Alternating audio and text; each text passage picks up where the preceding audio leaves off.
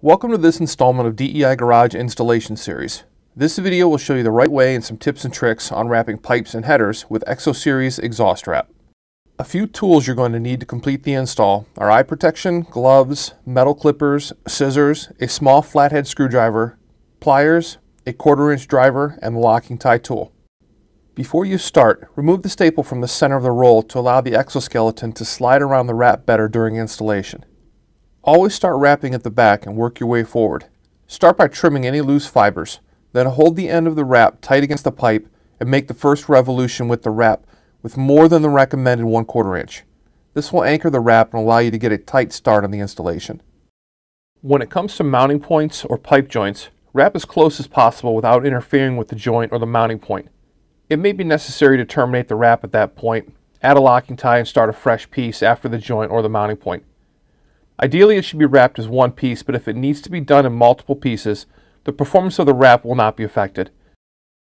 Periodically throughout the wrapping process, twist the wrap in a tightening motion, and you can actually feel it ratchet tighter on the pipe.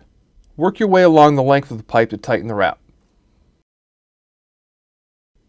When wrapping bends, be aware that you'll use more material on the outside of the bend than on the inside.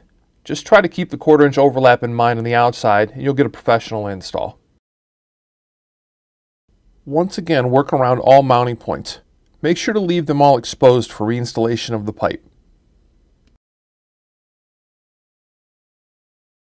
Before anchoring the end of the wrap, trim off any loose fibers or excess material.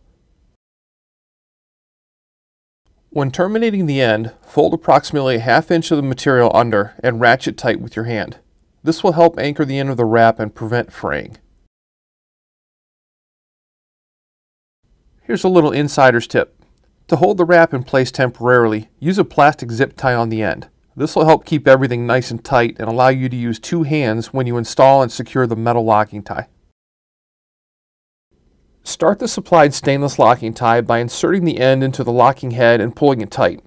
To finish the tie install and to get it tight, insert a small flat blade screwdriver between the teeth and the locking holes. This disengages the teeth and allows you to pull the tie tight. With the screwdriver inserted, pull the end of the tie with the pliers. This will tighten the tie further, preparing it for the locking tie tool. Attach the locking tie tool to any quarter inch driver. Insert the tie into the slot on the tool and turn the tool away from the locking mechanism. This will make sure the tie is secure. Trim off the excess locking tie and fold under to get rid of any sharp edges.